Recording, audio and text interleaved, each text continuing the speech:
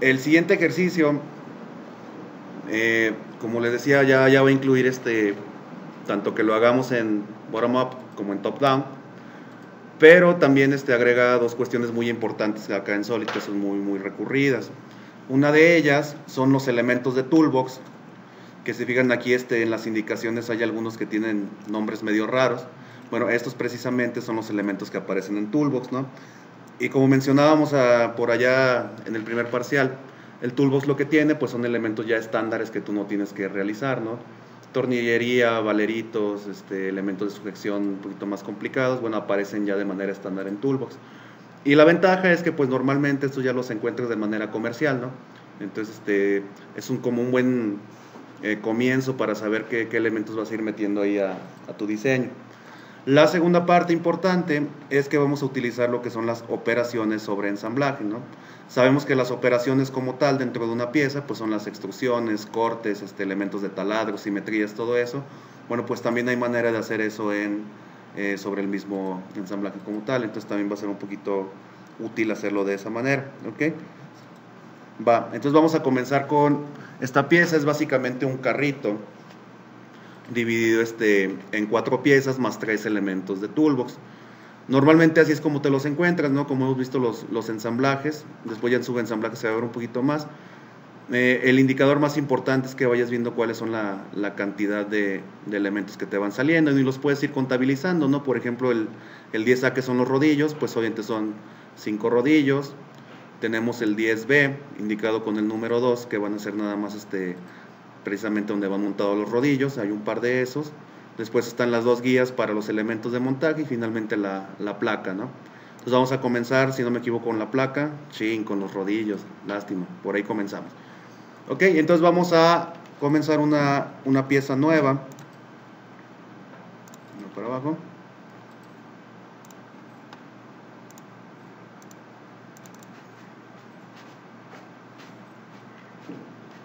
Y vamos a ver si nos da alguna indicación de material. No hay ninguna, entonces la podemos dejar este como sea, ¿no? Creo que el, ejercicio está más, más bien basado otra vez en ensamblajes y en utilizar elementos de toolbox. Entonces vamos a ver cómo nos conviene hacer este, pues a partir de una extrusión, a partir de una revolución. Una revolución, ¿no? Obviamente este es un elemento de, de revolución. No hay una orientación específica, entonces podemos comenzar este, a revolucionar sobre el alzado, ¿no? Bien, entonces vamos a comenzar por ahí. A croquizar en alzado. Eh, sí, Eliezer, si no, luego tenemos broncas, pero es bueno porque sacan problemas que hay que resolver aquí en vivo. Bien, y vamos a hacerlo centradito. Entonces vamos a comenzar con una línea de punto medio. Tal vez si tienen atrás de 2016 no tengan punto medio, entonces vamos a hacer una línea arbitraria. Y relacionamos el origen con el punto medio de la línea. ¿Cómo le ponía para que fuera de 8 lados el mouse? Ok, para que tengan mouse de 8 direcciones, haz clic derecho aquí en cualquier área vacía de, del Command Manager y te vas a personalizar. Y por aquí debe haber una pestaña que se llama ratón o movimientos de ratón. Aquí está, movimientos de ratón. Y aquí está arriba o cuatro u ocho movimientos.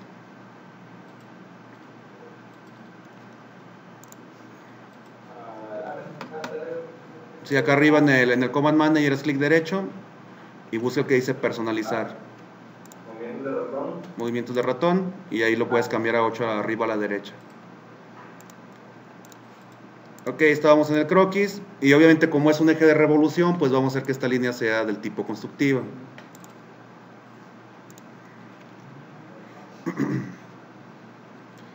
Tiene una longitud total de 200 milímetros.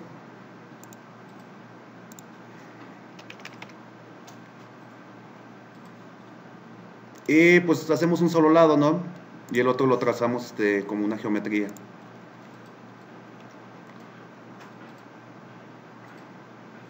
Y entonces el punto más externo tiene un diámetro de 100 milímetros. 50 o bien lo pones en modo de diametral. Sí, son, son equivalentes. Que por ejemplo, Francisco, ahí me di cuenta que no utilizas esta herramienta del modo diametral. Pones siempre las mitades, ¿no? Entonces, recuerden que cuando utilizamos este, una línea constructiva para realizar cotas, algunas cotas solo nada más, bien podemos dejarlo de esta forma radial, que nos dé la dimensión radial, o si nos movemos pasando el eje de, de revolución, se convierte en una cota diametral.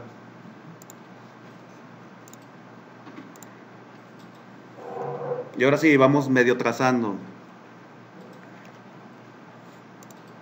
Entonces comienza con un cilindro recto, sigue con una línea inclinada, prácticamente hasta el final. Y luego aquí arriba va un chaflán, lo podemos dejar este para hacerlo como operación finalmente. Y aquí completamos el perfil. Hagamos su simetría.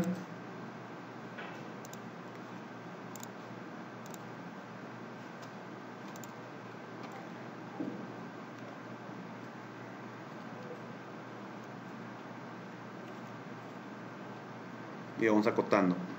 El primer cilindro tiene 25 de diámetro.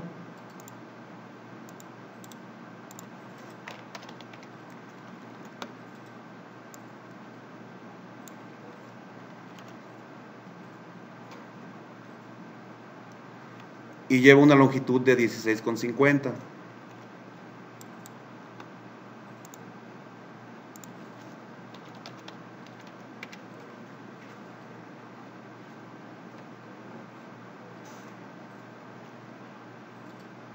Y la línea inclinada nos marca un ángulo de 85 grados con respecto a la horizontal.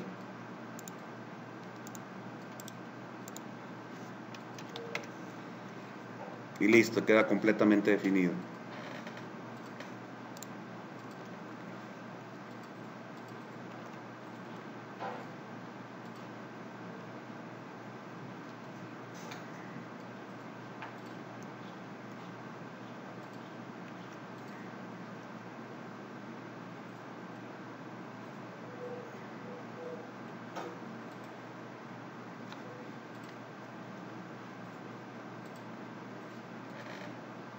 Ok, vamos a revolucionar.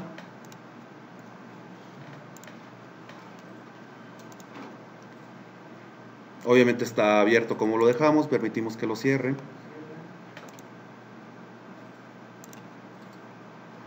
Y otra vez, acuérdense, cuando hay más de una línea constructiva, hay que seleccionar manualmente el eje de revolución, que en este caso pues es el horizontal.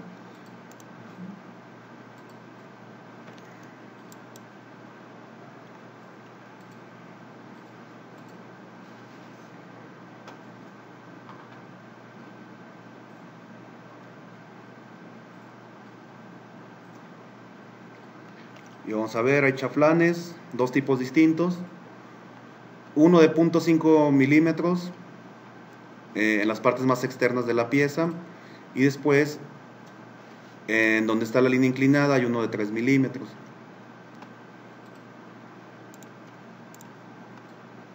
Serían 0.5 milímetros en esta arista y en esta arista.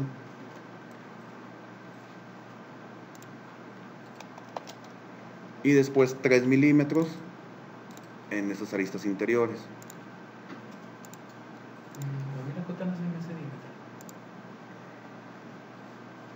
La cota no se hace diámetro, ahorita lo... Le toma con respecto al punto, al punto, Sí, al punto final de, de la línea. a este punto y a la longitud. Ahí está rotando solo. Ah, ya, la vi.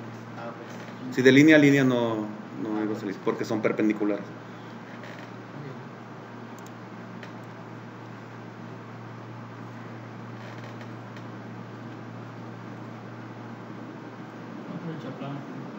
Tenemos punto .5 en las partes externas y 3 este, en el cilindro mayor.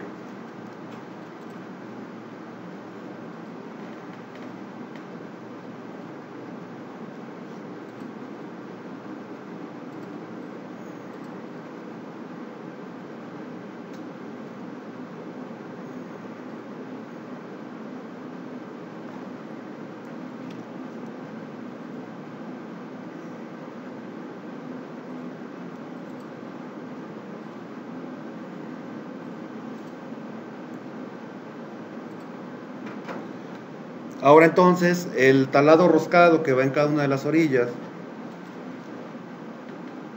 nos dice que es un M10 por 1.5 y que el taladro inicial tiene 59 de profundidad y se rosca hasta 50 milímetros totales, ¿no? De hecho, para, para denotar eso precisamente está acá el corte, ¿no? Que te da los 50 hasta donde llega la rosca y los 59 hasta la profundidad del taladro. Obviamente se me van a olvidar los números, ¿verdad? Entonces, por ejemplo, este es uno de esos casos en donde sí puede ser conveniente utilizar un croquis 3D para dar la ubicación de, de esos taladros, ¿no? Si preseleccionamos el plano y hacemos el asistente para taladro, entonces tendríamos que hacer una segunda operación para el taladro del otro lado, ¿no? Ya sea otro asistente de taladro o una simetría, pero serían dos operaciones forzosamente. En cambio, si hacemos un croquis 3D, entonces sí podemos permitir que se haga en ambos lados al mismo tiempo. ¿Ok? Entonces vamos a no seleccionar nada, recurriremos al asistente de, de taladro, vamos por un tapón recto, en mi caso yo a menudo cambio este, los valores para impresión 3D, entonces vamos a restablecer los valores. Y dijimos que era un M10. Es métrico por la M y es un M10 por paso de 1.5, ¿verdad? Sí, de 1.5. Este sería un tapón recto. ¿sí? Y cuando les quede la duda, siempre vean el dibujito de, de, las configuraciones, ¿no? El taladro, pues obviamente va a ser algo sin roscar. Y en el caso del tapón recto, pues aquí aparecen ya con ciertas roscas ahí sobrepuestas, ¿no? Como roscas cosméticas.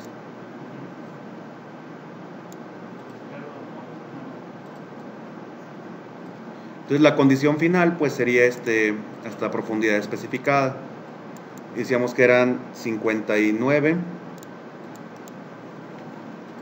y 50 roscados.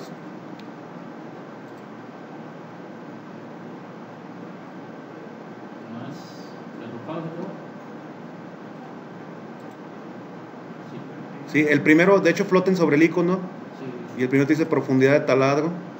Y el segundo te dice profundidad de macho de roscar.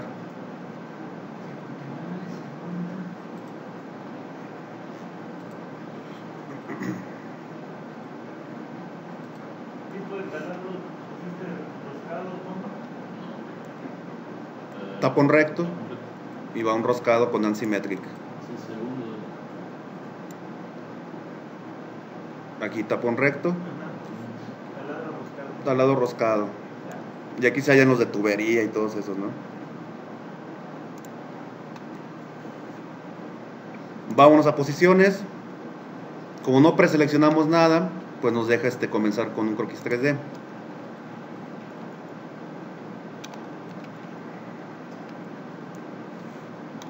Sí, aquí va a ser un problema no tener, ahí está, ahí está.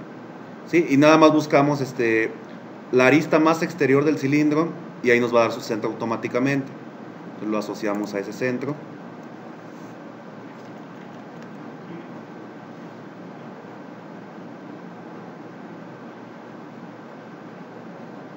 Ahí está el centro. Y si de un lado no les dio la vista previa, entonces probablemente no se encuentre en plano, ¿no? Entonces, si seleccionamos el punto y el plano donde debe de residir, aquí está la restricción de crear en plano. Quito la otra coincidencia, quité la que no era. Ahí está, en plano. Sí, y a lo mejor este, manualmente te toca hacer este, la concentricidad, no importa, ¿no? Por ejemplo, en mi caso cuando agregué la restricción de plano, pues me eliminó la, o me hizo problema con la restricción de concentricidad, ¿no? No importa, tú manualmente puedes siempre agregar este, las concentricidades que hagan falta, ¿no?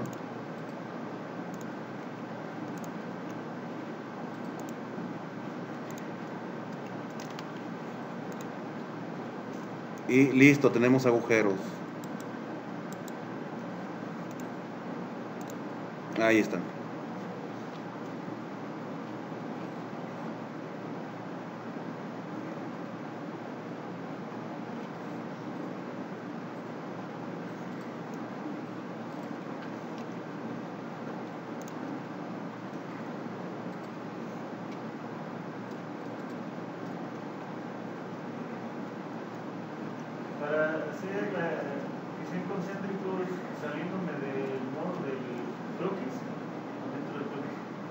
Dentro del croquis.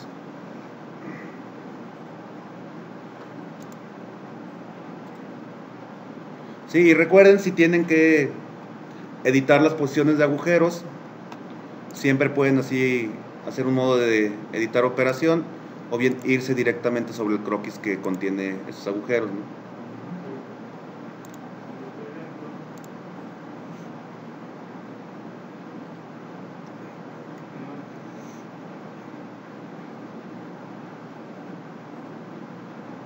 Y este ejercicio es el 9, ¿verdad?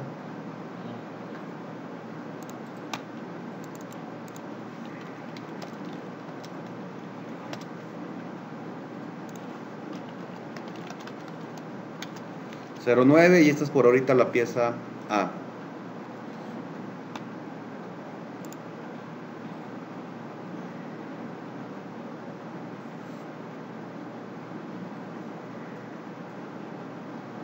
Solo me quedó duda sobre el chaclán. ¿Cuál de los dos? Porque como dice 3 por 45 y el otro dice Punto 5, ¿no? 45. Que serían estos externos de acá, el cilindro más pequeño. Con la herramienta de chaflán, expande donde está redondeo. Con, una, con operaciones. Ajá. Sí, no las hicimos en croquis. ¿eh? Digo, se pudo haber hecho en croquis y todo, ¿no? Pero agregar chaflanes en croquis agrega dos cotas medio molestas. el chaclán, y ahí en el automático cuando ya elegí la lista doy la distancia que dice ahí Así es, 3 por ejemplo son 3 milímetros 3 milímetros. 45 ¿no?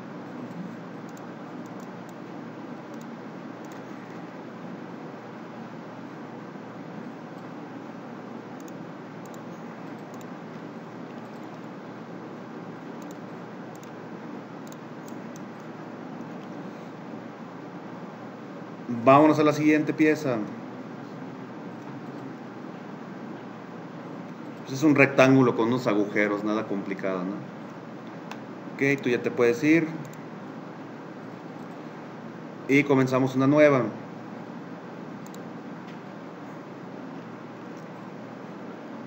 Vamos a ver si hay que dar alguna orientación. Pues va como en vertical, ¿no? Es decir, esta sería como nuestra vista frontal, la más larga. Entonces vamos a comenzar a hacer esta en el alzado.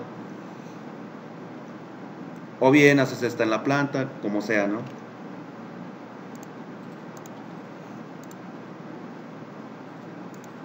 Vamos con un rectángulo de centro.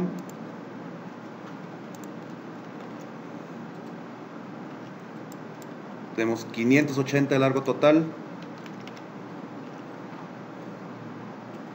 Y 80 de altura.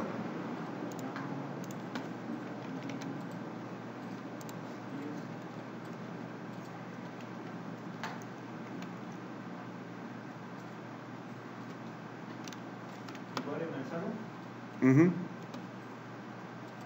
Para extruir durante 16.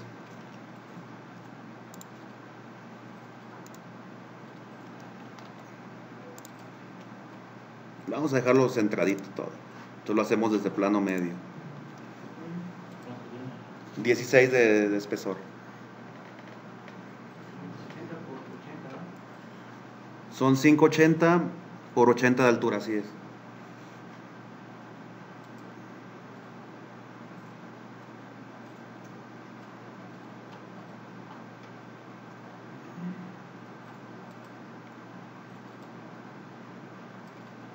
y 20 menos 16 ¿no? 16 de espesor.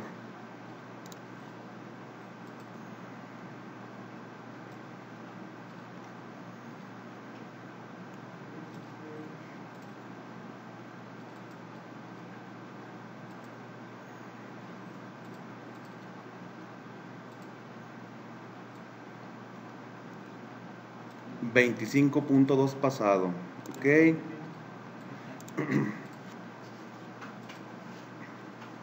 Entonces hay opciones. Bien podemos este, hacer un croquis directo sobre, sobre la, cara donde se van a hacer los agujeros, pero recuerden que si quieren los callouts automáticos, normalmente lo que van a hacer es hacer esto a través del asistente de taladro, ¿no? Entonces preseleccionamos la cara frontal y vamos a utilizar el asistente para taladro.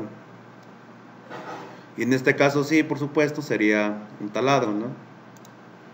Que a ver si nos da los 25-20, pero si no, lo personalizamos. Sí, y en este caso pues quieres eh, el taladro del tamaño exacto, ¿no? Entonces el margen de tornillo, recuerden, está hecho para que para un tornillo de un tamaño cualquiera te va a dejar un poquito de holgura, ¿no? Por ejemplo, si pongo un M3 y voy a a ver el, ajuste de tamaño personalizado, fíjense que nos deja un taladro de 3.4, ¿no? Puedes ajustar, por supuesto, cuánto holgura quieres, ¿no? Por ejemplo, en vez de normal, lo quiero con tolerancia cerrada, se va a 3.2 y si le dejo abierto o suelto, se va a ir hasta 3.6, ¿no? ¿Ok? Entonces ese es el margen de tornillo. Nosotros queremos entonces ahora el taladro de perforador, digo el tamaño de perforador, y vamos a ver si nos da hasta el 25.2 que nos indica allí.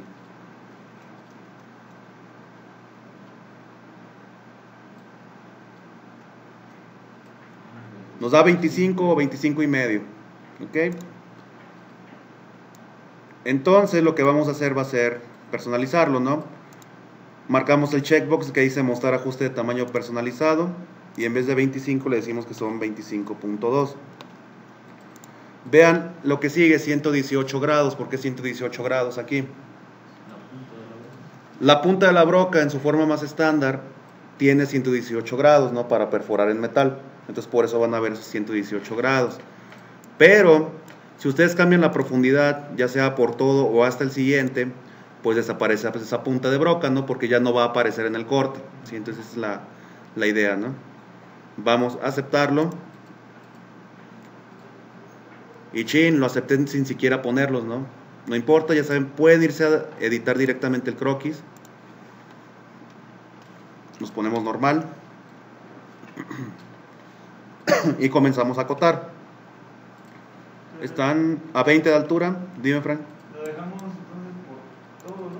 Por todo o hasta el siguiente, en este caso hacen exactamente la misma tarea. Tiene 20 y tiene 50 desde la cara izquierda.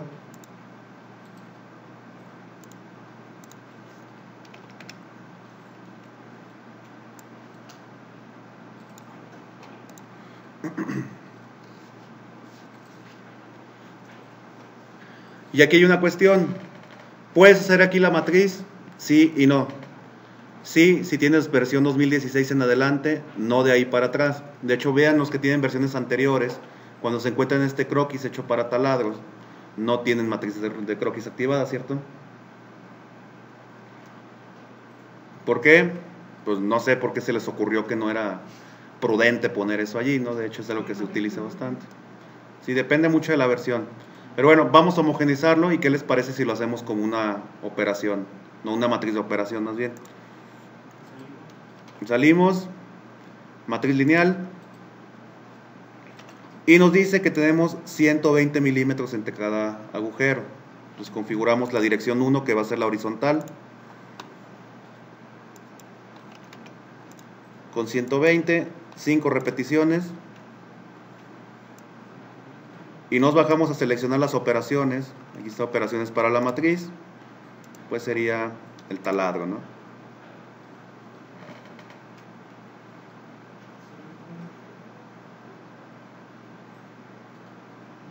¿Qué más? Tenemos 5, son 120 de distancia entre ellos nada más. Dirección 2, No hay dirección 2. nada. Es, es en una sola dimensión, ¿no? Y listo, lo aceptamos.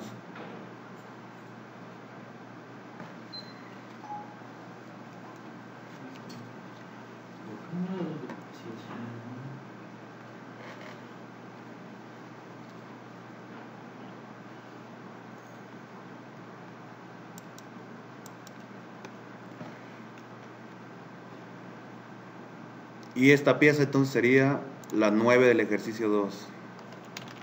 Del, perdón, la 2 del ejercicio 9. Casi latino. B, ¿verdad? Es la notación que estamos usando. Alzado. Utilizamos eh, tamaño de perforador. Voy para allá. Comenzamos este con taladro normal. Y abajo en la configuración invocamos tamaño de perforadores. Eh, ¿Especificaciones de taladro? ¿Tipo? Ahí metimos la de 25, pero personalizamos el tamaño a 25.2, que sería este que estoy marcando ahorita.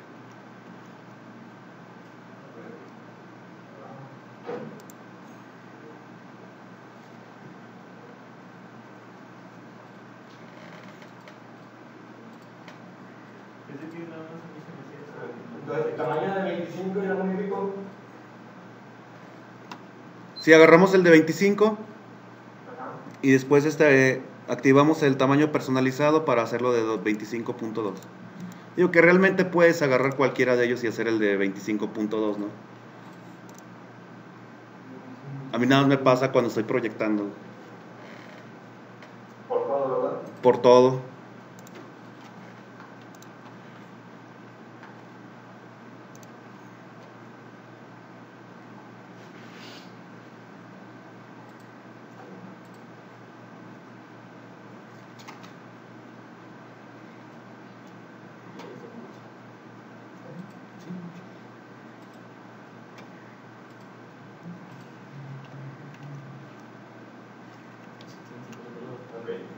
¿Listo?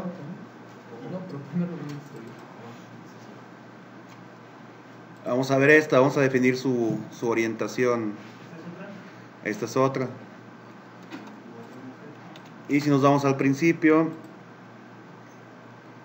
vemos que, que el plano que lleva el, el agujero está en todo caso en la vista lateral, ¿no? Entonces podemos comenzar a hacer este planito en la, en la vista lateral. Es decir, esta sería mi vista lateral, pero de alguna manera apuntando hacia abajo el, el resaque que lleva aquí, ¿no? Ok, entonces vamos a hacer una pieza nueva.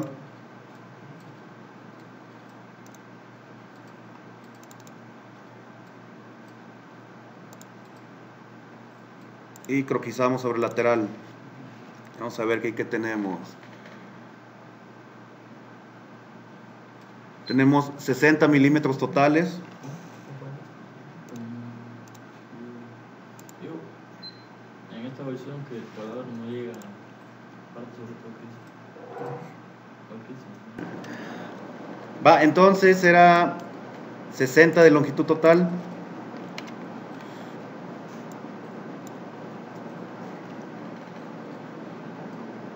Y tiene una altura de 28.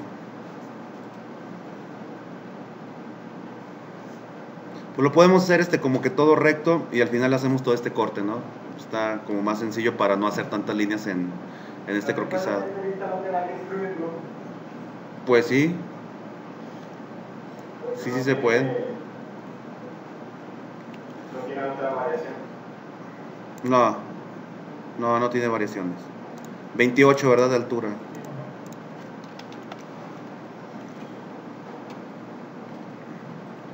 Veintiocho y entonces seguiría aquí una línea horizontal, después una inclinada y ahorita hacemos este el redondeo, ¿no? Por ahorita lo vamos a dejar de esta manera. Seguimos acotando.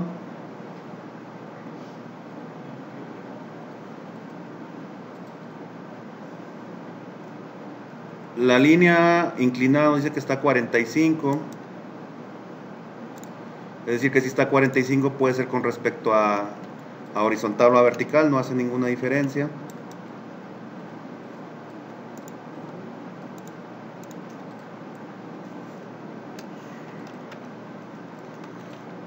Excepto si no invierto la cota. Ahí está invertida, ahora sí. Ok, si ya la hago con respecto a la otra para que no dé bronca. Ah, bueno, y si no, pues simplemente este busquen la orientación, ¿no? Pues la estoy haciendo obviamente acá atrás no me va a dar. Aquí sí ya me dan esta otra orientación. Recuerden, clic derecho bloquea la, la cota.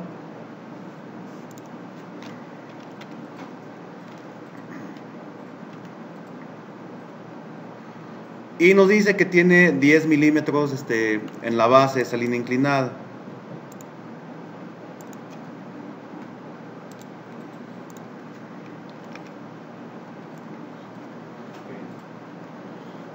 ¿Durante cuánto extruimos?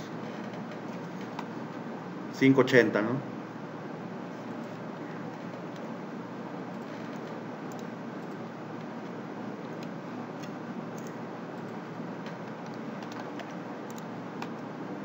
Pero que nos quede centradito, ¿no? En el medio.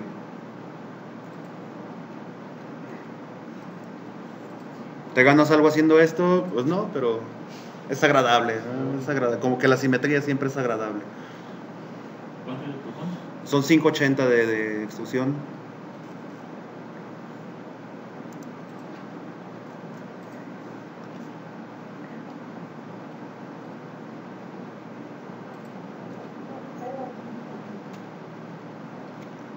Y vamos a hacer la ranura. La ranura tiene 16 de ancho y 8 de profundo.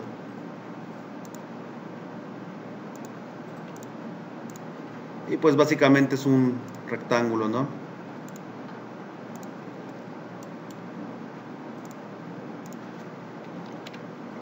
Con 16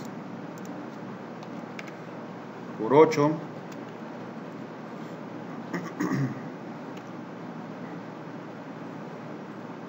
Donde se ubica a 15 milímetros de la cara posterior.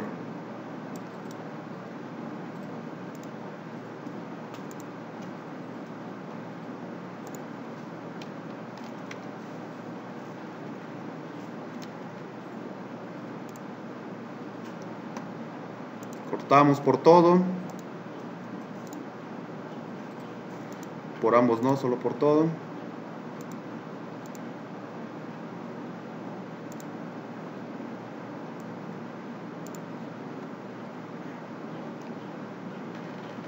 ¿Cuánto era? Vamos a verlo.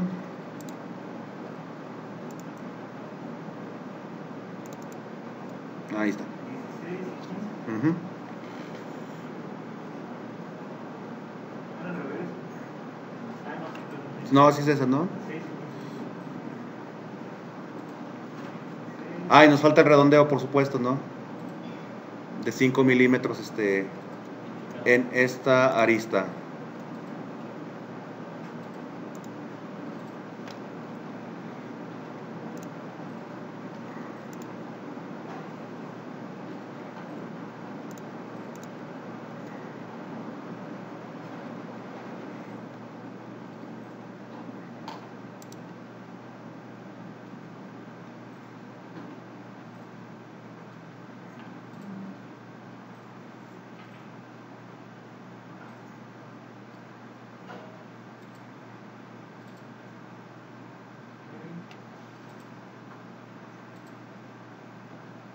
Y es un redondeo, ¿ah? Sí, de 5 milímetros.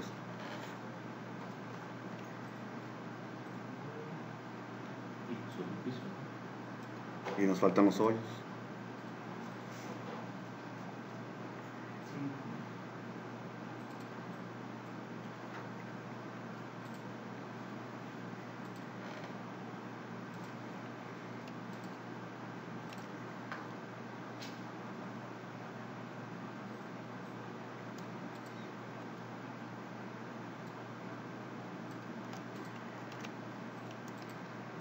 Sí. Ok, vamos a agujerar, nos cambiamos a la vista inferior.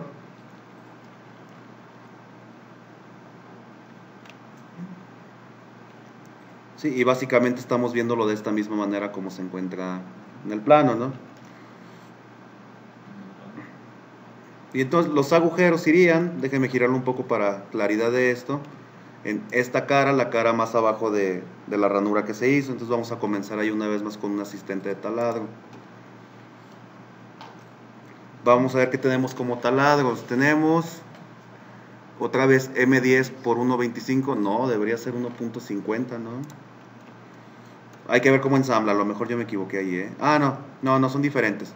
Sí puede ser M10 por 1.25. Creo, creo que era para utilizar distintos tornillos. No tiene mucho sentido aquí, pero es con fines didácticos, ¿no? A final de cuentas, ¿ok? Entonces vamos a colocarlos. Nos dice que se encuentra a 23 milímetros de la cara superior. Va a ser una matriz así, es lineal. Entonces, otra vez, no vamos a utilizar taladros, ¿no? Vamos a utilizar tapones rectos porque deben de ir roscados.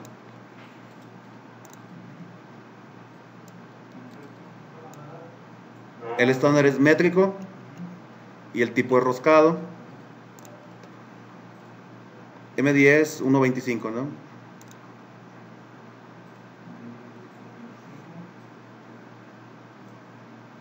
Que en este caso otra vez este y por todo o hasta el siguiente hacen exactamente el mismo trabajo. Ahí está, déjenme colocarme normal a la vista. Ese normal está bien, está un poquito volteado, ¿no? Bueno, vamos a darle vuelta. Ándele, perfecto. Si les dio curiosidad cómo le di esa vuelta, dejen presionado Alt y ya sea izquierda o derecha, los lleva, nada más que está invertido, ¿eh? si presionan derecha, gira como... Bueno, si gira hacia la derecha, si lo ven a la derecha del origen, ¿no?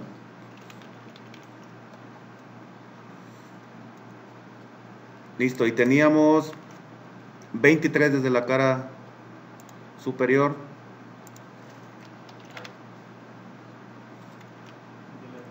Y 25 desde la lateral.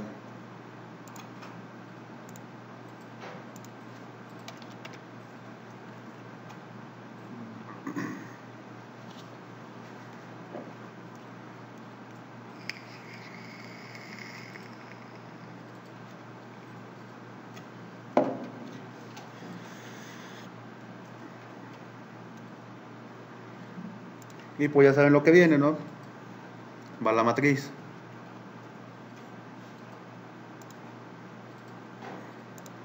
En la dirección horizontal. Y tenemos 132 y medio de separación. 5 instancias totales.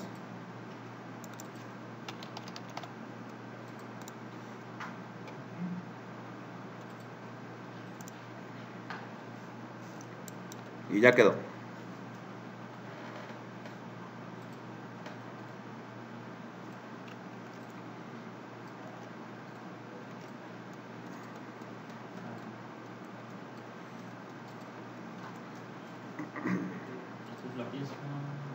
Es la C.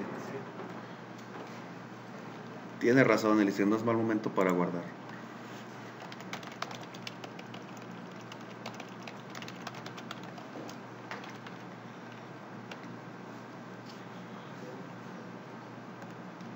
Ahora vean el ensamble principal. Esta pieza realmente necesita este, tener una versión simétrica, ¿no? Que en el caso de esta pieza particular, pues su versión simétrica, pues obviamente puede ser la que va nada más del otro lado, ¿no? Y no pasaría realmente nada. Pero digamos que tú quisieras conservar este, algunos detalles que ya llevara en alguna de las caras frontales, entonces si la volteas no vas a tener el mismo efecto, ¿no? Me refiero a la volteas ya en el ensamble. Entonces, eh, en ensamble, por supuesto, hay forma de hacer este, piezas simétricas, pero es limitada y es limitada en el sentido de que solo hay cuatro tipos de simetría, ¿no? De hecho, eh, en la siguiente clase vamos a ver cuáles son los tipos de, simetría que se avienta más o menos. Entonces, lo que vamos a hacer aquí es que la vamos a truquear para tener una versión derecha y también una versión izquierda, ¿no? Que es un truco que a menudo se, se utiliza. Y lo que vamos a hacer es generar un nuevo sólido simétrico eh, y lo vamos a meter en una y en otra configuración. ¿ok? Entonces, para eso, vamos a ver la orientación de esta pieza. Esta sería, eh, obviamente, la versión derecha. Entonces, en la configuración vamos a cambiarnos a Configuration Manager. Y esta le vamos a llamar derecha. Y generamos una nueva configuración que se llame izquierda.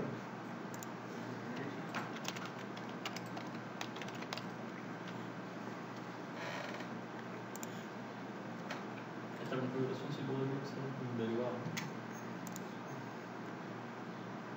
Sí, sí puede ser derivado. Sí, claro, e-, ese es bueno lo, que, lo que dice por aquí Eliezer, ¿no? Que esta configuración, como no va a hacer modificaciones en función de, de la primera configuración, puede ser una configuración derivada, ¿no? Entonces, bueno, vamos a hacerlo de esa manera. Si quieren, borramos la configuración izquierda. Ojo, no la pueden volar, bo- borrar si está activa, entonces hay que cambiarse a derecha. Y ahora sí izquierda, ya se puede eliminar.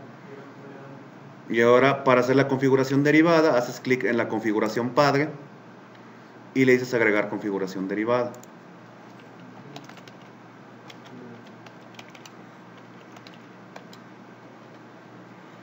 Que mantengan los mismos este, estados de visualización. Y ya estamos en izquierda.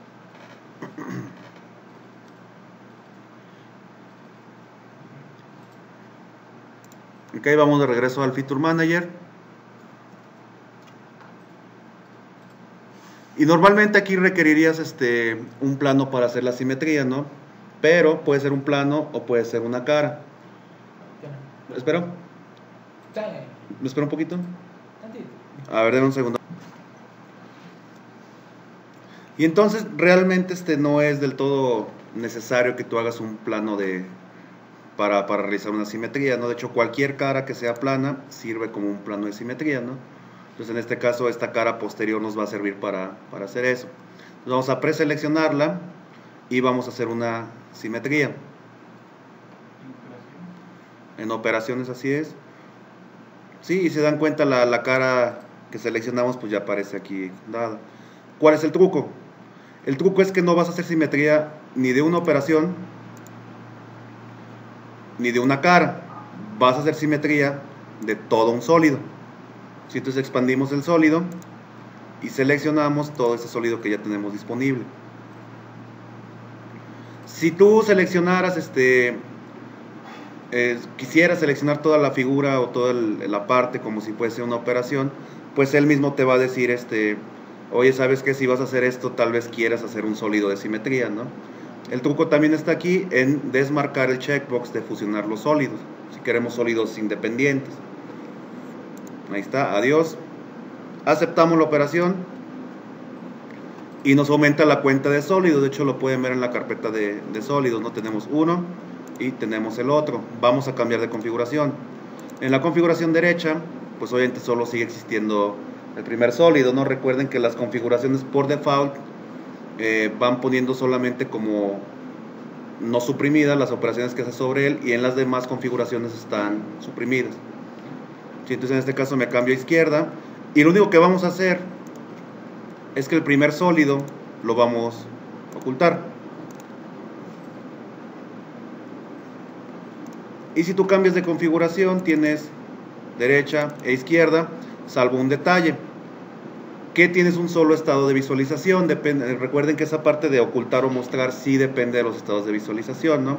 Entonces vamos a generar un estado de visualización para cada una de las distintas configuraciones. Hacemos clic derecho acá abajo en los estados de visualización dentro del eh, Configuration Manager. Nos vamos a sus propiedades y marcamos el checkbox, vincular estados de visualización a configuraciones.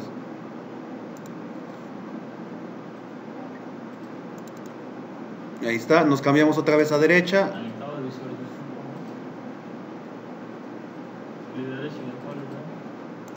En estado de visualización hay que darle clic derecho, nos vamos a sus propiedades y marcamos el checkbox, vincular estados de visualización a configuraciones. Sí, déjenme crecer aquí un poquito esto. Y entonces ahora cada uno tiene su propio estado de visualización, ¿no?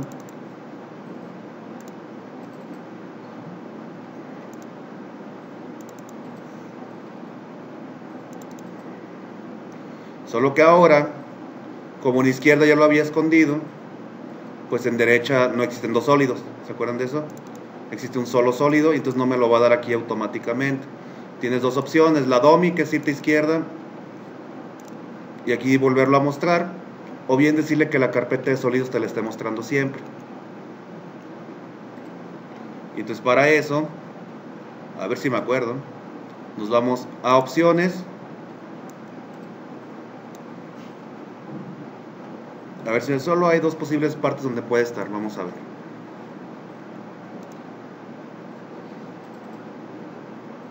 Entonces no va a ser en opciones, va a ser en personalizar. Adiós opciones. Entonces clic derecho otra vez. Nos vamos a personalizar. Eh, en Feature Manager. Si estaba en opciones el Feature Manager, ese es el que estoy buscando precisamente. Ok, si son opciones, ¿Qué le vamos a quitar la vinculación de estados otra vez? No, hay que dejar un estado de visualización para cada uno. Feature Manager, ahí está. Y ahora sí, sólidos. Ahorita lo dejamos como que se muestre, ¿no? Y ahora sí, si te vas a derecha, ya puedes hacer que se muestre el otro lado. Ahí está el lado izquierdo, lado derecho. Y cambian los orificios de. Ah, ok, estos como son este cosméticos, hay que ocultarlos manualmente. ¿Dónde se hace? Ni me acuerdo. Sí, son un poquito molestos, sí, ¿para qué, ¿para qué decimos que no? Pero vamos a ver de los croquis, girar, visualizar puntos extremos, puntos de entidad. Sí, eso es lo feo, que se quedan por allí.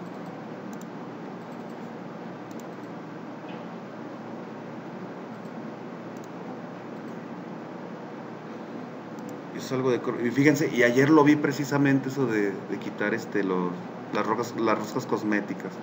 Digo, en el peor de los casos, pues las puedes quitar manualmente aquí, ¿no? Ahí está, ocultas y desaparecen.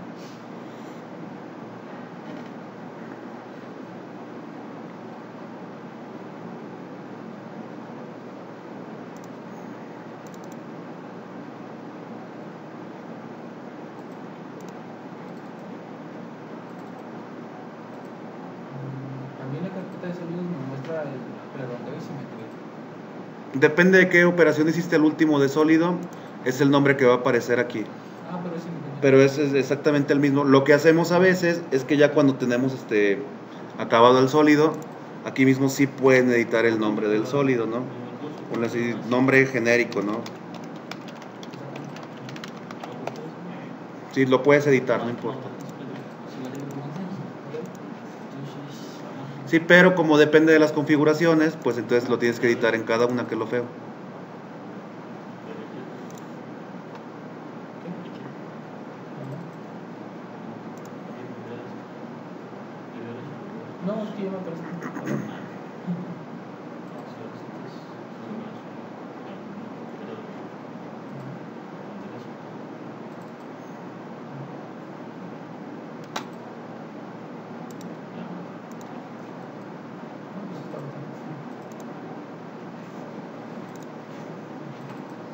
Listo, y entonces acabamos la tercera pieza. Y nos falta nada más la base donde se monta todo, ¿no?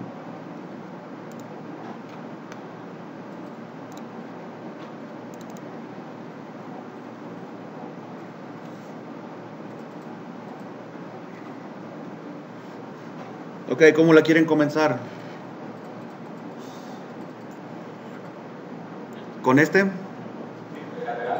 Es con este en la vista lateral, por supuesto, ¿no? Es la, la forma de, hacer menos operaciones, por decirlo de alguna manera, ¿no? Entonces vamos a comenzar a croquisar este en la lateral. Nada más que la orientación, pues sería más bien volteando los 90 grados hacia, la derecha, ¿no? En sentido horario. ¿Ok? Entonces vamos a hacerlo así. Lateral. Oh, Alan, ahora sí anda bien prendido, ¿eh?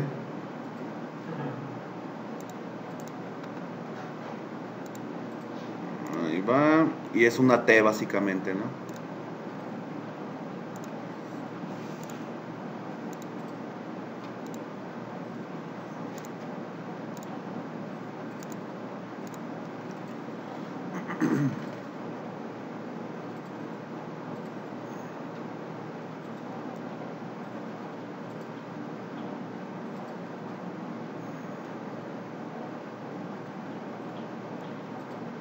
Y fíjense cómo voy a implicar aquí una, una simetría de manera indirecta. Si yo alineo el punto medio de esta línea horizontal con el punto medio de la que se encuentra arriba también horizontal, entonces esto ya implica una simetría, ¿cierto?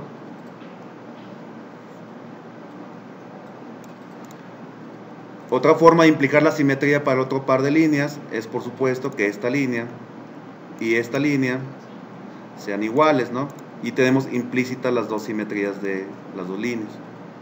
Va, Digo, hay formas siempre de, de truquearlo, ¿no? Para cuando no puedes hacer este líneas constructivas, que no me imagino en qué situación no podrías.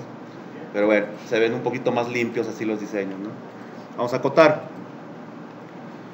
¿Cuánto tiene de el arista más larga? 48. Tiene 248, aquí se encuentran.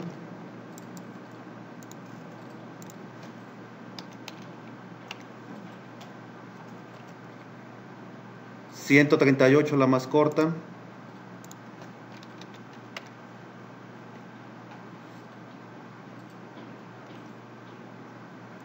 Y tenemos una profundidad de 10, pero primero una altura total de 40.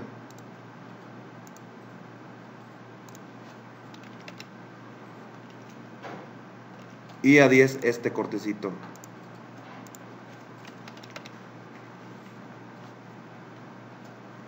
¿Qué le falta? No, es al revés, ¿no? ¿O no? Ah, no, no, no. Si son 40 totales Ahora, y la profundidad del corte es de 10. Ok, consejo para si tienen que mandar algo a, a maquinar. Tu material en bruto va a ser pues, este rectángulo, ¿no? Básicamente. Entonces, no es tan conveniente que tú le des la altura de cuánto mide el material que se está quedando. Lo más común es que tú des la profundidad de cuánto deben de cortar de ese material en bruto. Ok, Como, como consejo, ¿no? Es, digo, ellos pueden hacer la resta y lo que sea, pero pues, lo que quieren es que lo hagan rápido ¿no? y que no pierdan tiempo apretando botones. Ok, vamos a ver qué le falta de restricciones. ¿Qué le falta? Ya es igual. Ahí está la igualdad. El de arriba. Que El de igual. que puede poner remate que esté a la misma horizontal. O hacer los de 10 iguales. Que sean colineales. ¿Sí? Vean cómo se mueve. ¿Lo puedo alargar o acortar? Ya son iguales, ¿no? ¿La puedo subir y bajar? Igual a la de 10, ¿no? Y si igual a la de 10. sí. Puedes volver a poner la cota de 10 o puedes volverla colineal con esta otra. Si ambas son opciones válidas. Claro. Sí, si pones colineal, perdón, agarré el punto. De esta línea, con esta línea, es equivalente a si pones también la cota de 10 desde la base hasta donde acaba el corte. O hacer iguales las dos. De hecho, ya son iguales. Oh, ah, ok. O agregar simetría también, ¿no? Que eso implica hacer una línea adicional. Si cualquiera de esas opciones es, es buena, ¿no? Yo las haré colineales. ¿Durante cuánto extruimos? Mm, mm, mm. Aquí está. 580.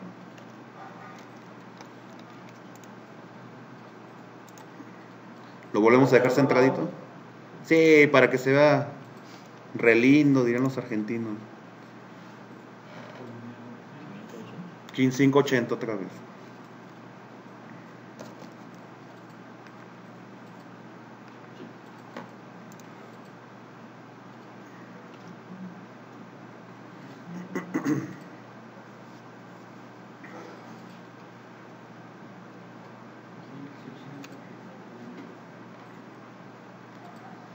Y se viene una nueva notación para los tipos de taladro. Si ustedes recuerdan, cuando tenemos aquí como un, semirrectángulo abierto por arriba, eso implica que es refrentado, ¿no? Lo vimos la, la clase pasada. En este caso, esta indicación te dice que va a ser un taladro avellanado. ¿Qué es la avellana? ¿Alguien tiene dudas con qué es la avellana? Sí, es básicamente un corte triangular que se utiliza para tornillo avellanado. El tornillo avellanado, en contraste con el tornillo que es de cabeza cilíndrico plana, tiene la ventaja de que tiene un montón de área de contacto. Entonces, para sujeciones que son relativamente fuertes, normalmente se utiliza un tornillo avellanado. ¿Sí, más o menos? ¿Va? Entonces vamos a configurarlo. Entonces hay que ver. Nos dice que es de 11 pasado. Y luego nos dice que la broca con que sería la avellana sería de 22.40, pero habría que afilarla a 90 grados. La buena noticia es que no tienes realmente que hacer cálculo de todo esto, ¿no?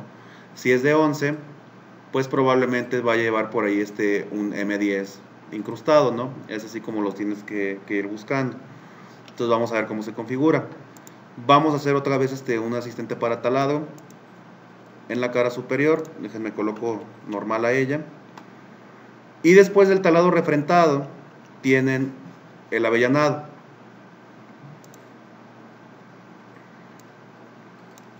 En nuestro caso seguimos con estándar métrico.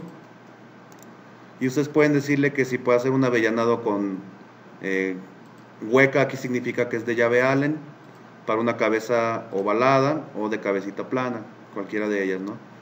En este caso vamos a quedarnos con la hueca y vamos a ver cómo queda si seleccionamos un M10.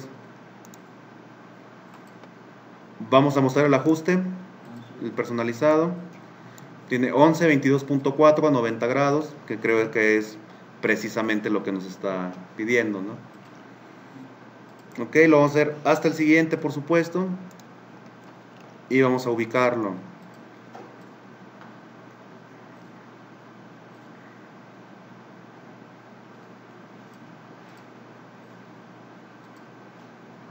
Ah, está muy bueno.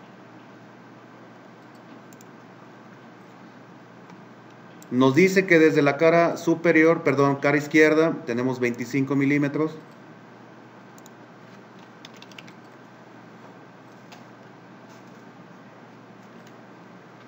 Pero aquí nos dice que tiene 184 entre ellos, lo cual implica que se encuentran de manera simétrica, ¿no?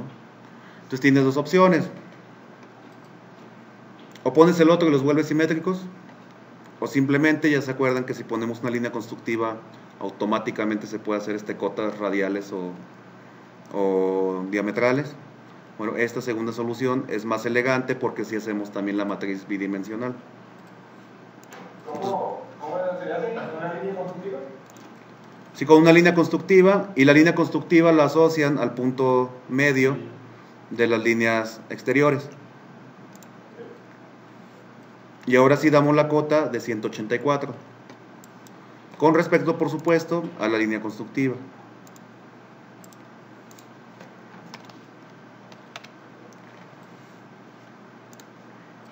¿Cómo hago para que lo haga de los dos lados?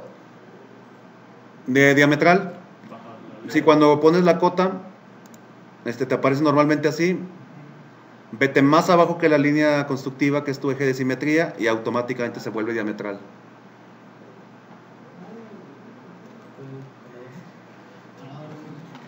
Ya me dice. Avellanado. ¿eh? Y pues ya saben hacer matriz, ¿no?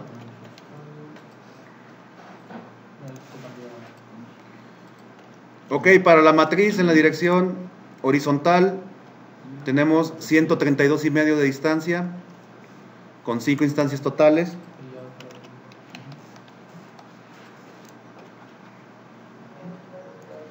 Y en la dirección 2 pues son los 184 obviamente, ¿no?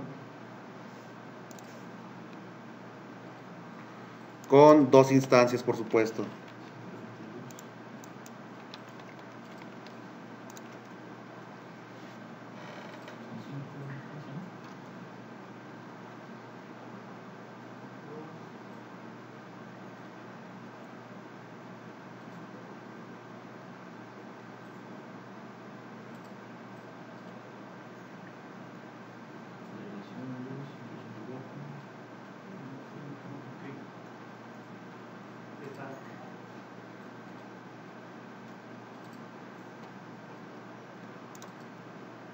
Ya aceptamos la operación.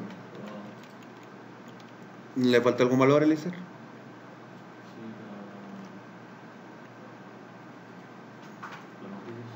Aquí está.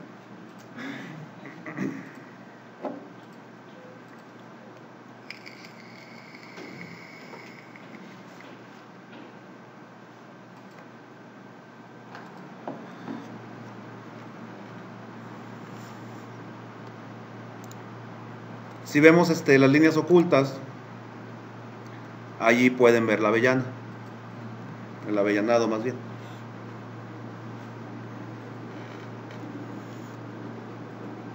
Ese tornillo va a estar bien largo.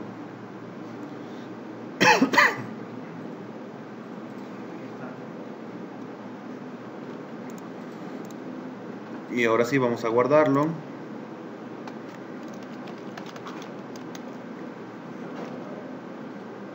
sería D, ¿verdad?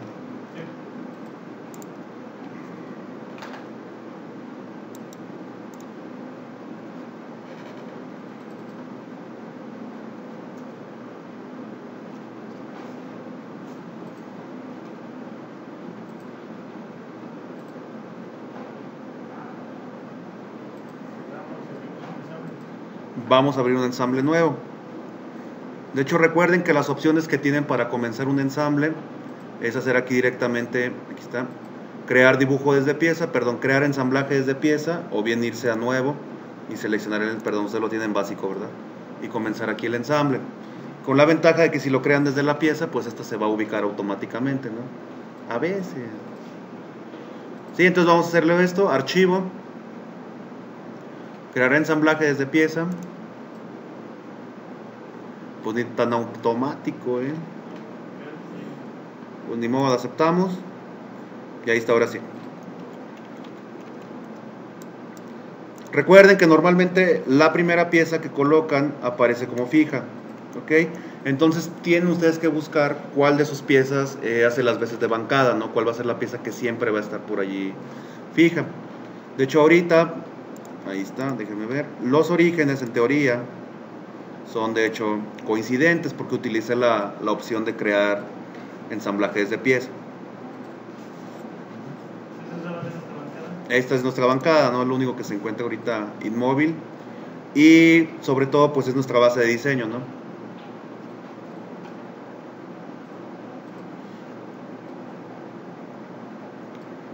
Vamos de una vez a guardar el, el ensamble.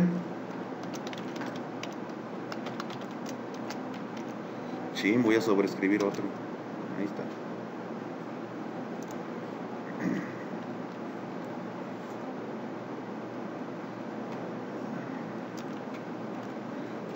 Y vamos a ver ahora sí cómo se hace el ensamble.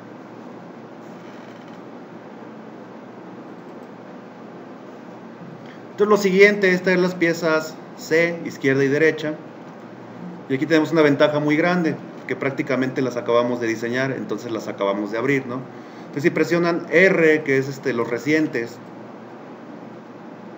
aquí está la pieza C. Simplemente arrastrenla hacia el área gráfica. Ahí está una. Esta en particular sí va a ser la izquierda, por supuesto, entonces acepten esa configuración. Y ahora hagan una copia. Dejen presionado control y esa pieza C arrastren hacia otro lado. Hagan un clic sobre ella y vamos a cambiar su configuración aquí arriba para que sea a la derecha.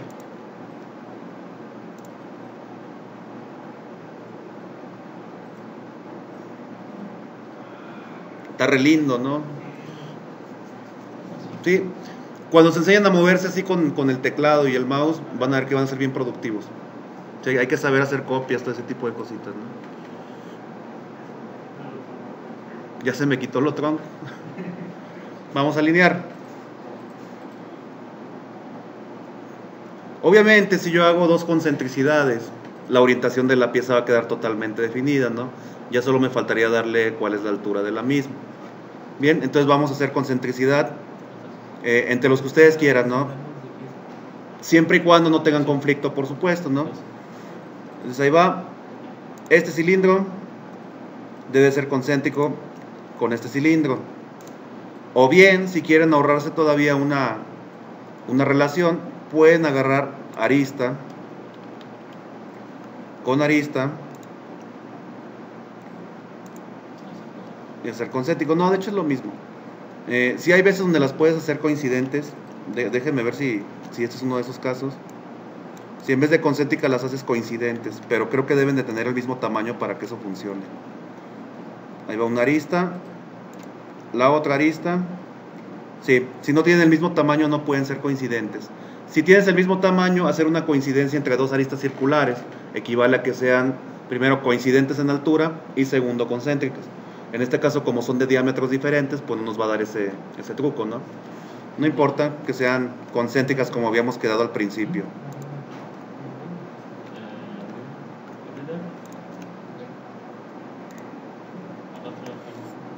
Ahí está una.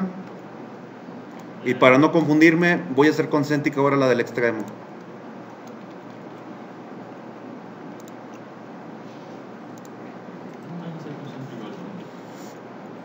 Sí debe de. Son círculos ambos, sí, sí debe de ser concéntrico. Pero te marca... eh, No, me sale la comparación. Ah, así si no utiliza modo más pro todavía, y arrástralo presionando Alt. Y ahí está. Bueno, este ya está concéntrico, por eso no me deja, pero esa es la, la otra forma.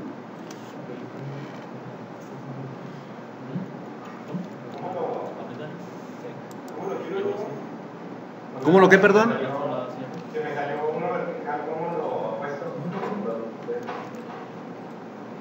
Ah, esa es muy buena. Ahí voy, déjame replicar eso.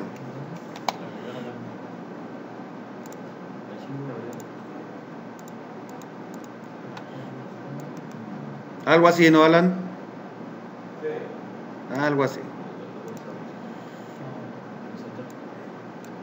Oye, este me, me salió vertical, este no no agarré los planos a lo mejor como era debido, ¿no? No importa. ¿Cómo, ¿Cómo podría agregar las piezas aquí? Aún así, ahí voy, ¿eh? Aún así tú puedes establecer las relaciones de concentricidad.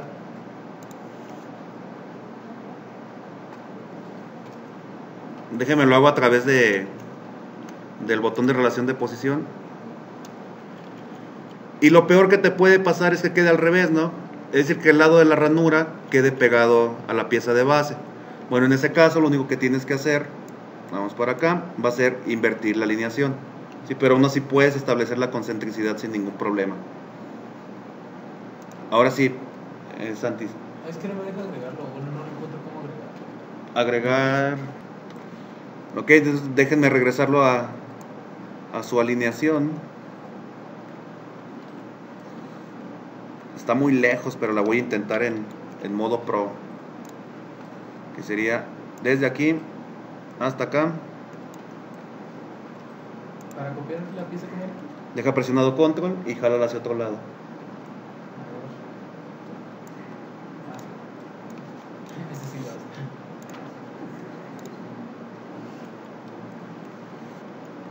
Oye, ¿sabes que este, la pieza me quedó aquí oculta y ya no la, la puedo mover, ¿no? Digamos, como me pasó ahorita, ¿no?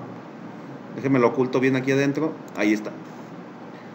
Si se te oculta alguna pieza cuando estás alineando, eh, tienes la opción que, de que la pieza que está sobre de ella te deje pasar a través de ella misma, ¿no? Para eh, jalar, digamos, la que tú quieres mover.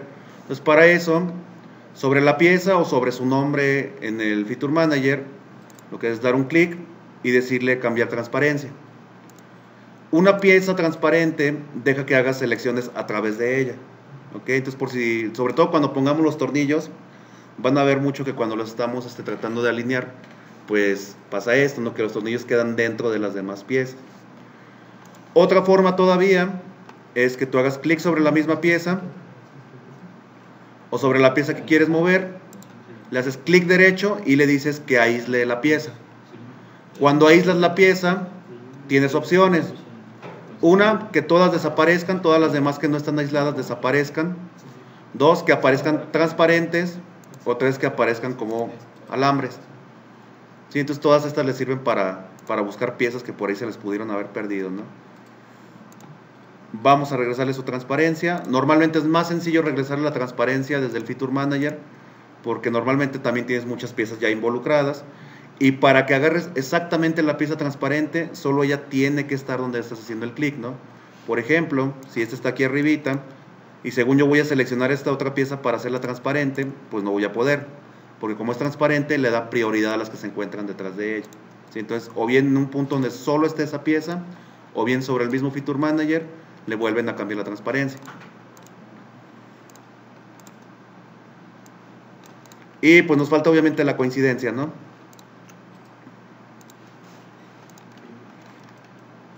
Y repetimos para el otro lado.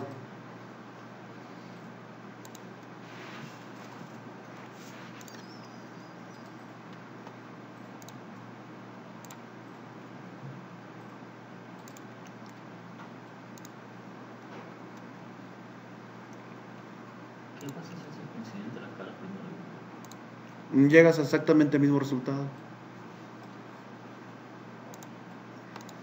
Sí, una cuestión es que también este, la- las relaciones de posición como tal no tienen que darse en un orden específico, ¿no? Tú puedes irlas dando como, como mejor te apetezca.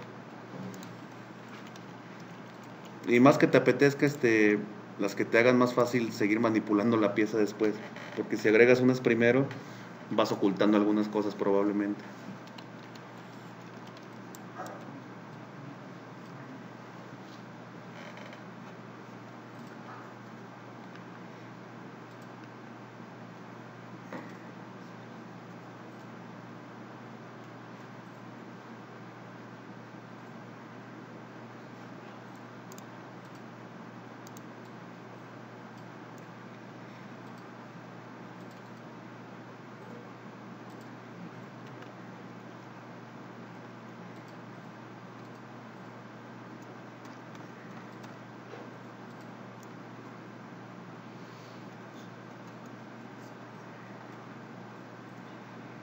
Luego la pieza número 2, que sería el 10B.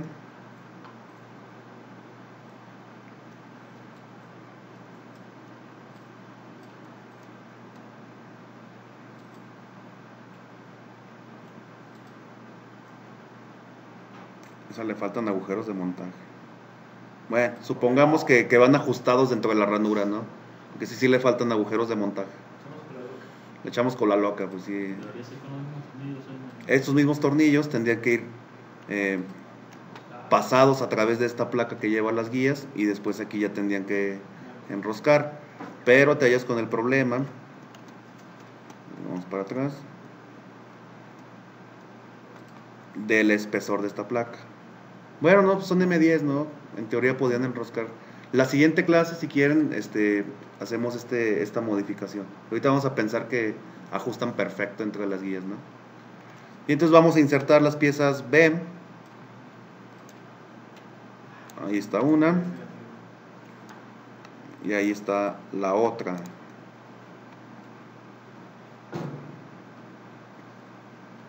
Son, ¿Con control hace la copia? sí, control se hace la copia. Son del mismo tamaño, al menos en longitud que la pieza C. Entonces lo mismo si hacemos un ancho que si hacemos ahorita una coincidencia con este par, ¿no? Sin embargo, digamos que si tú quieres agregar todavía más cilindros a esta sin cambiar la base, pues ya no se conservaría ahí la intención de diseño, ¿no? Entonces yo recomiendo que utilicemos un ancho pensando en eso. Bien, entonces vamos a las relaciones una vez más avanzadas. Adiós estándar. Que sea de ancho.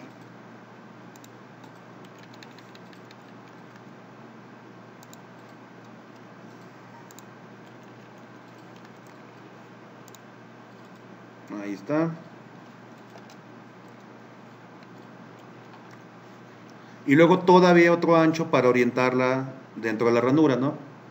¿Entre cuál el ancho la? Entre las caras externas de la guía ¿sí? y las caras externas del montaje de, de la pieza para los cilindros. Sí, y todavía voy a agregar otro ancho entre las caras internas de la ranura y las externas también de la pieza del montaje de los rodillos. ¿Viste en avanzadas? En avanzadas, ancho. Y la restricción es que va a ir centrado.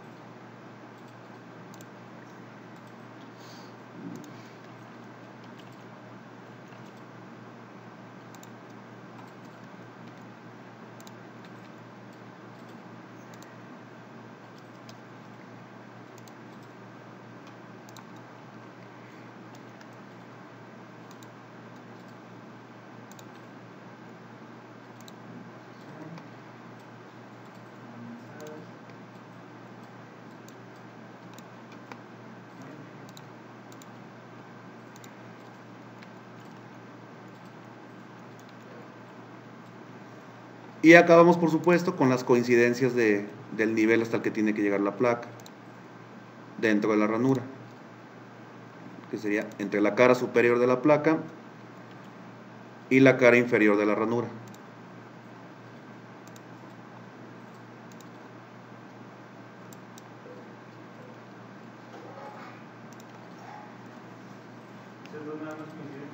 Así es.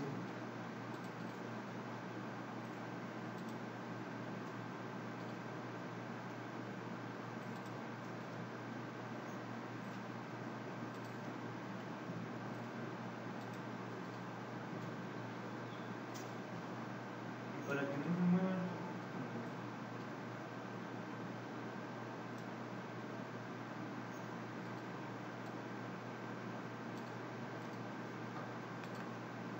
Te faltan anchos. Pero de los laterales, así. Sí, dentro de la ranura. Digo que pueden ser coincidencias, ¿no? Porque suponemos que, que están el mismo, sí, es lo mismo que el ancho. Pero por ejemplo, ahora piensa en, en que cambiemos este a, a que se encuentre por, por ajuste geométrico y lo metemos por tornillería, entonces la ranura podría ser más grande, ¿no? Y pues obviamente eso te lo va a descentrar. Entonces, avanzada, ¿no? También. Ujú. ¿Cuál es? Eh, ancho. ¿Marco? Sí. Ah, ¿qué te parece? ¿Te parece diferente? Sí, realmente. A ver, a ver. ¿Cómo es?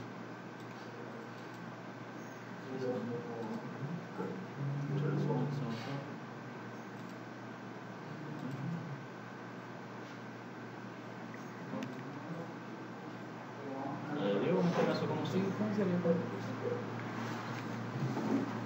como si de acuerdo.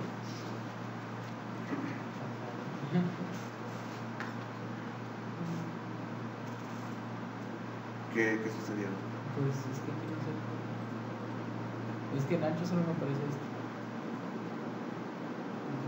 Sí, No, más bien este, compactaste acá la, la de selección. Selección de ancho está bien y compactaste la selección de... Esta. Ajá, ahí está. Ah, ok. Ah, sí. Pero ¿en qué caras se va a hacer esa relación? Y acuérdate que el ancho te centra este, dos caras entre dos caras. Ah,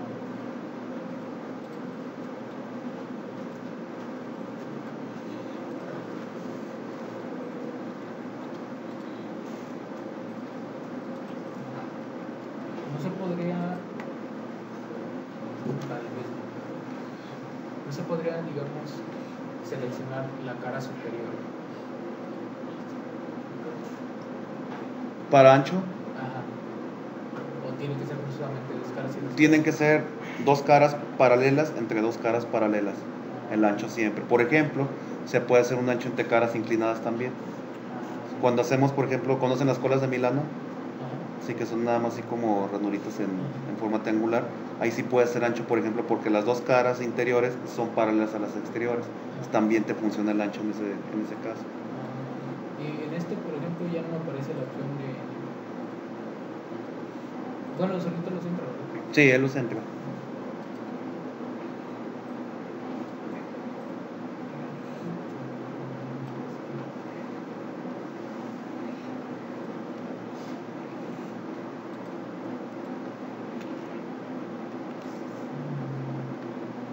No me deja ponerlas en el mismo, le puse de poner soluciones concéntricas y en el mismo.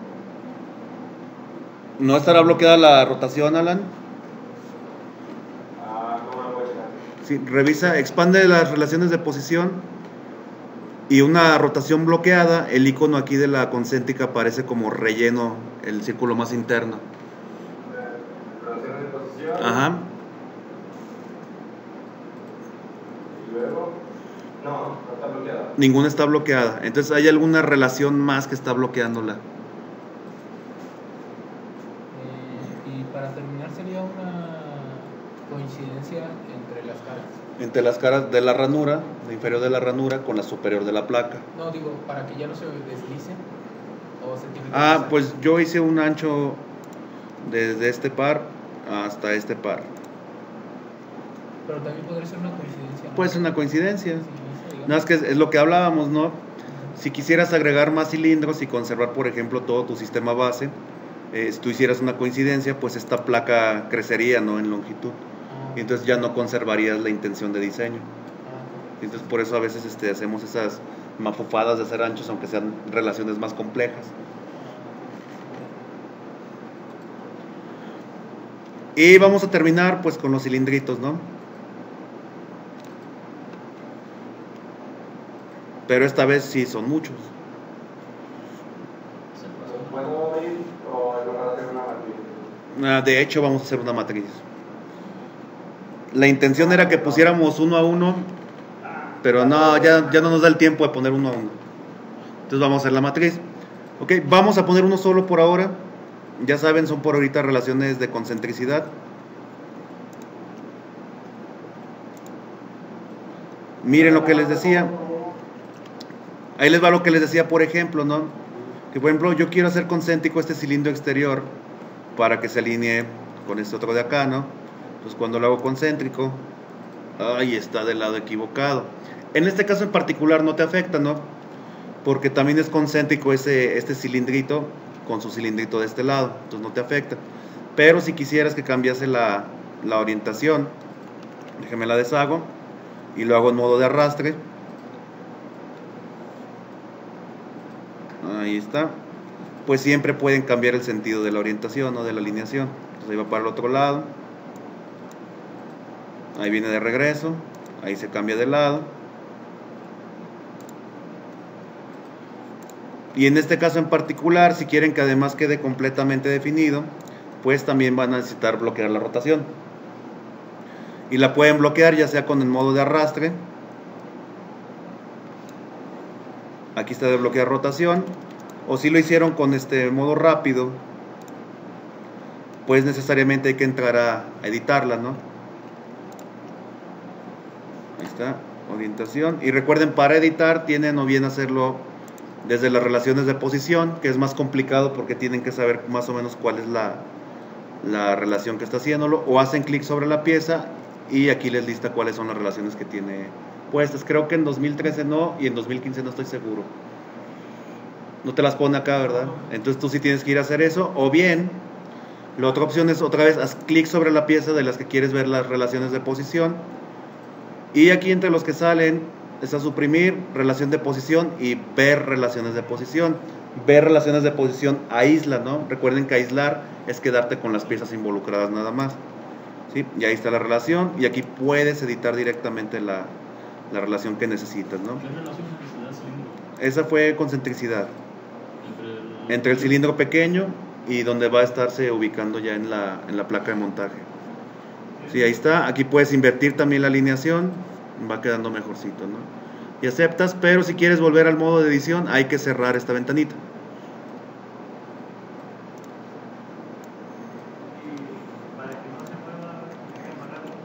Hay que darle un anchito. Sí, y yo voy a utilizar, por ejemplo, para anchos las caras de los cilindros y las caras de la placa. ¿Qué orientación tenía el cilindro? Eh, es, si no, no tiene problema, pues un cilindro a final de cuentas. Sí.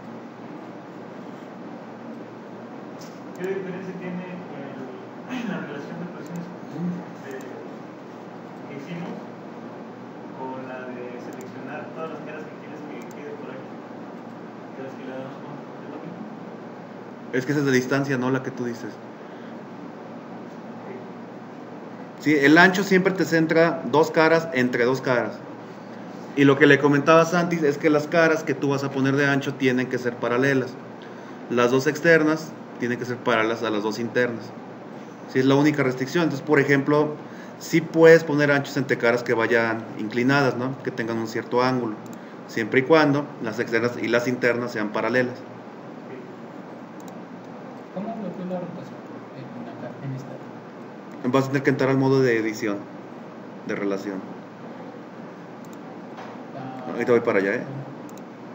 Ahí está. Entonces, bien puedes hacerlo desde aquí mismo, desde el Feature Manager y editar aquí la operación.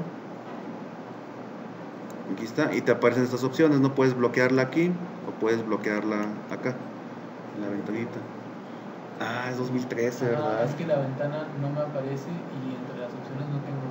No, es 2013. No, no vas a poder bloquear la rotación. Pero bueno, es equivalente a que tú establezcas una restricción de ángulo entre dos planos, ¿no? Ah, El plano del cilindro y algún otro plano que tengas por allí disponible.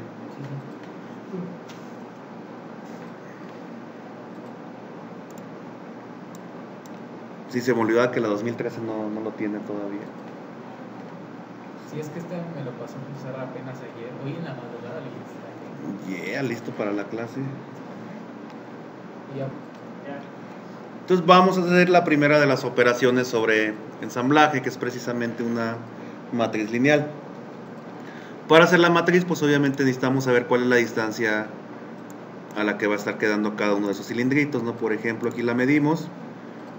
Ahora sí estoy midiendo de centro a centro, ya no la regué. Y son 120 milímetros. Y la buena noticia es que es básicamente lo mismo, ¿no? Que hacíamos este, en las matrices de, de operación a final de cuentas. Entonces, preseleccionamos el cilindro por facilidad y nos cambiamos hacia el toolbar de ensamblaje y hacemos matriz de componente lineal. Seleccionamos la dirección, ya saben, pues va a ser este, pues aquí no hay horizontal, vertical, sino en la dirección que deben de estar los cilindros.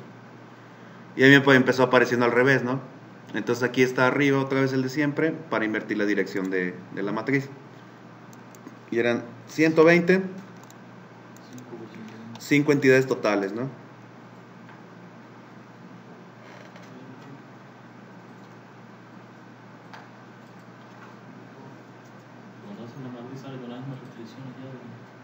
Conserva, ok, eso es bueno saberlo, ¿no?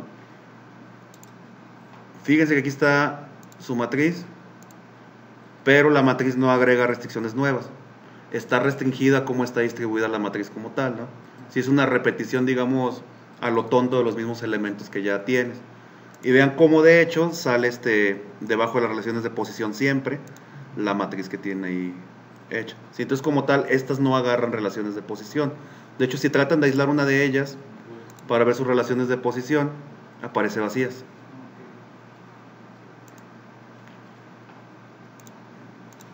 ¿Cuál es el secreto? Pues que lo guíes por ecuaciones, ¿no? Por variables globales. Si, si es que va a estar modificando tu, tu diseño, puedes tener variables globales compartidas entre cómo se, se diseñan los agujeros de la pieza la placa de montaje y la misma variable, variable tiene que controlar cómo se está generando esta matriz, ¿no? Sí, Igual aquí sale, se fijan la, la distancia y el número de distancias también. Sí, y esto se pueden editar por si no te permitiera editarlo en el, en el Property Manager de la matriz, aquí lo puedes hacer. Sí, eso es inteligencia en, los diseños, ¿no?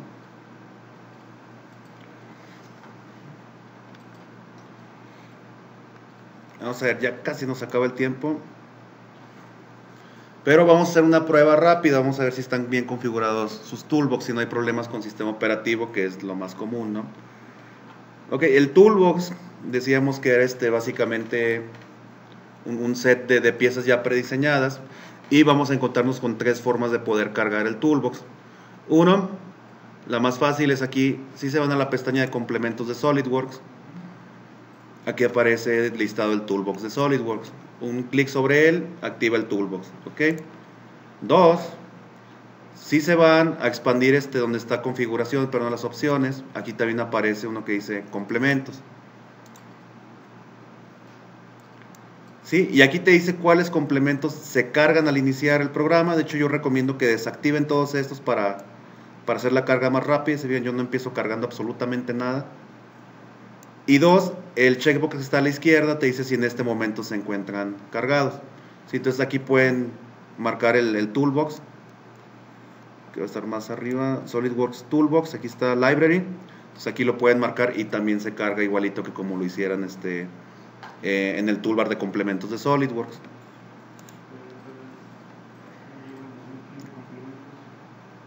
Expande donde están las opciones y aquí está complementos. Entonces quitamos, eh. Yo quito absolutamente todo. Y eso lo que hace es que inicia más rápido el Solid. Que de hecho tuvimos que haber hecho eso hace bastante tiempo. Se me olvidó. La tercera opción, aquí en la barra de tareas, está la de la librería, la biblioteca de diseño como tal. Si la expanden, aquí también aparece el toolbox. Si hacen un clic sobre ella, y si ya cargaron de las otras dos maneras, ya no les sale este mensaje. Si no la han cargado, les sale este que tienes que agregar ahorita el toolbox. Y vamos a ver, ahora se viene la hora de configurar. Si lo agregamos ahorita, el mío no tiene problemas porque el mío ya está configurado, ¿no? Para que muestre lo que yo tengo. Pero ustedes, algunos de ustedes, les va a mostrar ahí una ventanita que les va a decir que no se ha configurado el toolbox. Y les va a decir, vamos a configurarlo, ¿no? Denle, vamos a configurarlo. Yo voy a entrar para allá también. Se parece así como lo tienen. Si el tuyo, entonces ya está configurado, ¿no? Ok, para aquellos que ya les aparece así directo, de todos modos vamos a hacer el paso de configurarlo. Entonces en el buscador de Windows busquen el Toolbox de SolidWorks.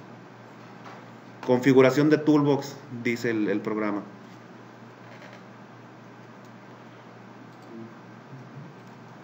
Y aquí los espero a que les aparezca una ventanita o alguna similar.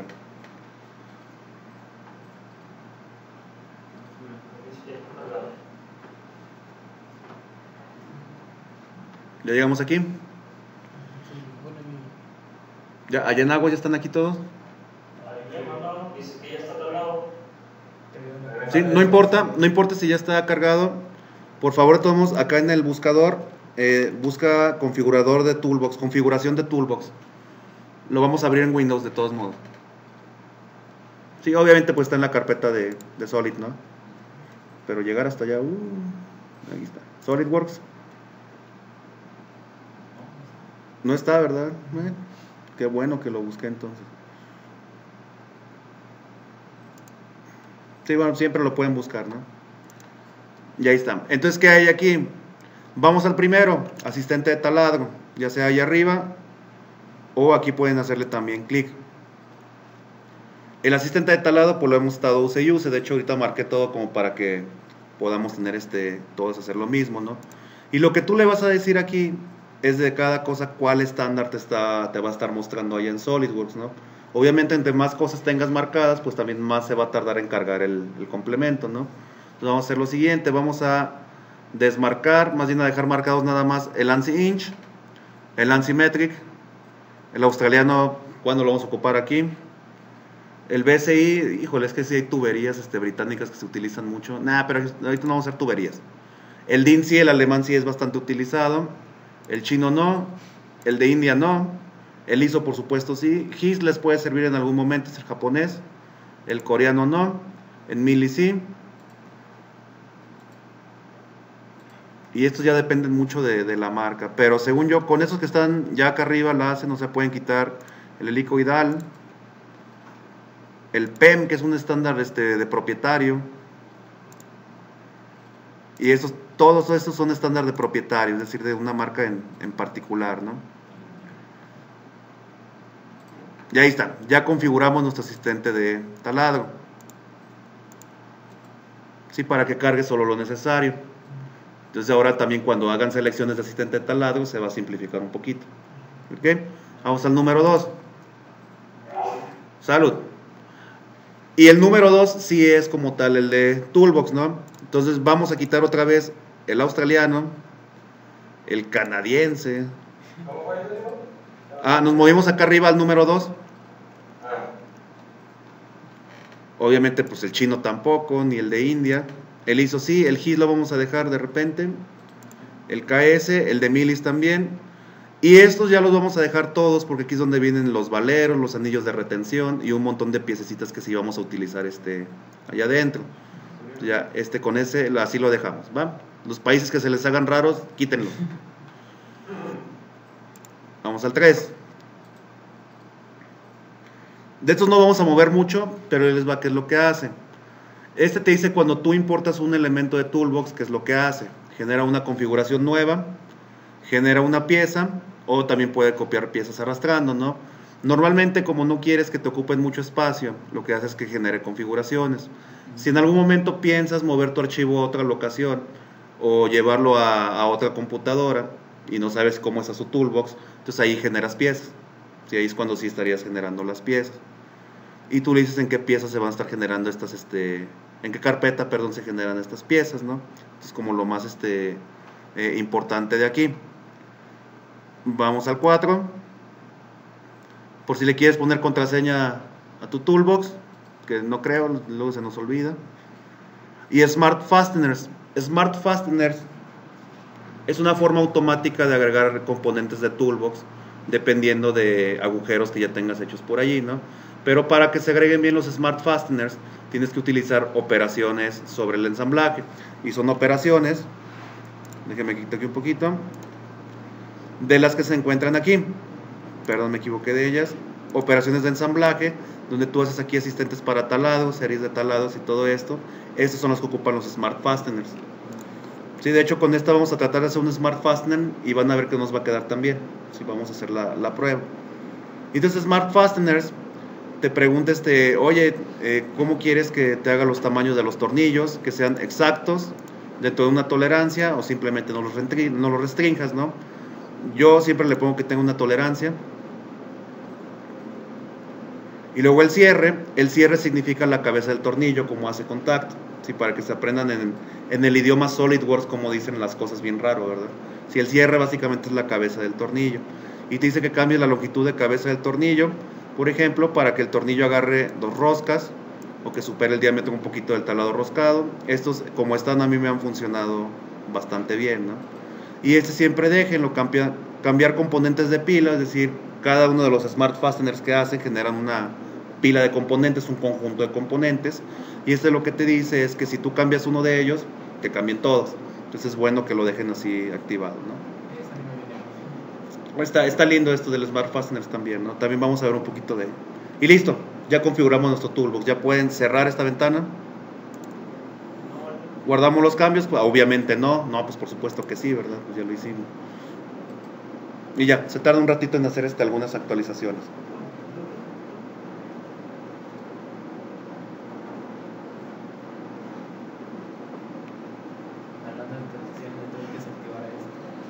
Desactivar las actualizaciones. Y lo primero que se hace cuando se restaura una PC. No, es que de hecho no, no me y De hecho, el SP1, ¿sabes qué yo hice?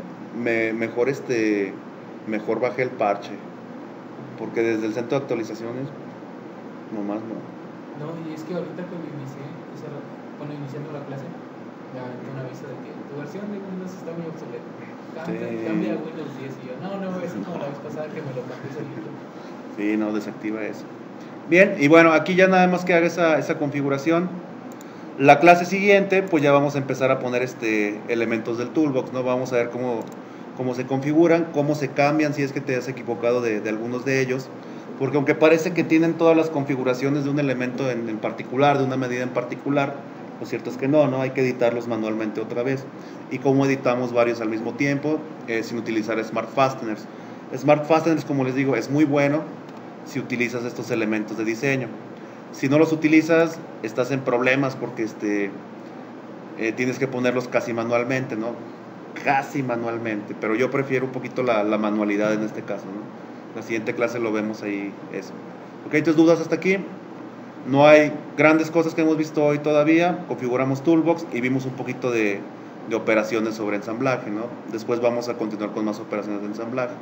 Bien, pues ahí le dejamos entonces muchachos. Vámonos a dormir. Muchas gracias a todos.